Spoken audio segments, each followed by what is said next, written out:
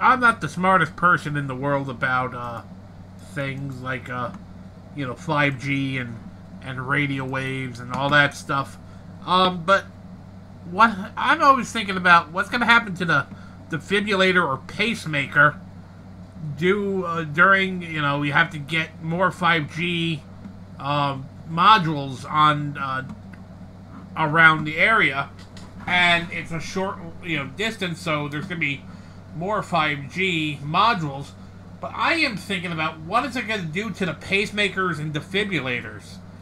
I I didn't really um, look into this actually, and I I'm just a question. It's just a basic question from Eight News. It's like I have a defibrillator and pacemaker combined. What will actually happen when they you know turn on 5G in this area? Will it screw up my defibrillator pacer? I, I, I don't know. This is, these are good questions to ask. I, I don't really get any answers. Some say it's fine, some say it's not fine. Don't know the true answer. I guess it's trial and error.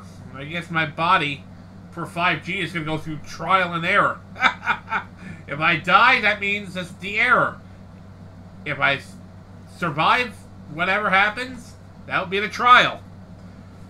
Anywho, that's just my uh, main theory and thought of the, my, my life right now. What will happen to pacemakers and defibrillators? Who knows? More news to come when it comes in.